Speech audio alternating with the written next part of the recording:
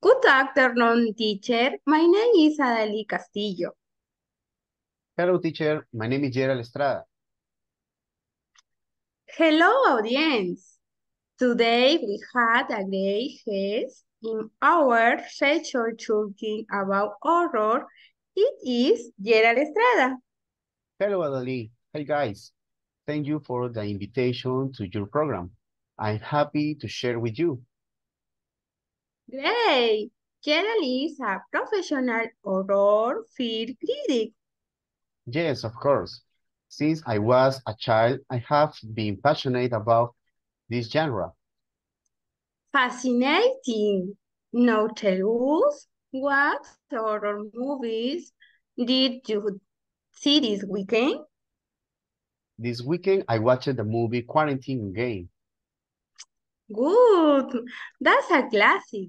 And what did you think of the film? In my opinion, this film has the best suspense scenes. At the time, it caused many people to become interested in horror films again. How scary.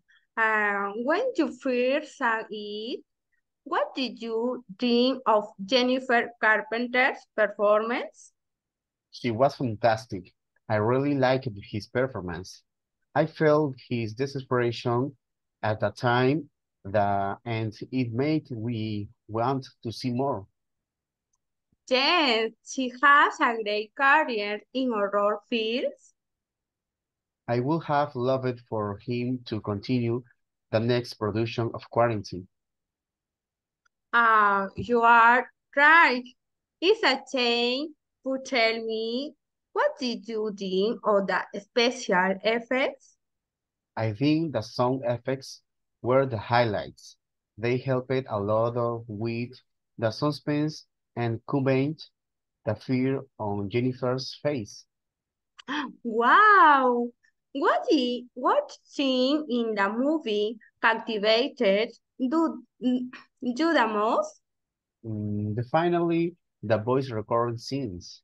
At the time, I was sitting next to my niece, and she screaming in fear like never before. How Oh, the world. I almost don't like those earrings. Ha ha ha. it's true. That is a little scary, but that's the magic. Finally, what do you uh, think on the production that was done on the film? It had an excellent production. The film was directed by John Dowdle. He is a director, producer, and screenwriter, recognized for directing several famous films. Excellent. Gerald, today we all learned more about this horror movie. Thank you very much for being here with us. Thanks for the invitation, Adaly. I spent an amazing afternoon with your audience and had so much fun.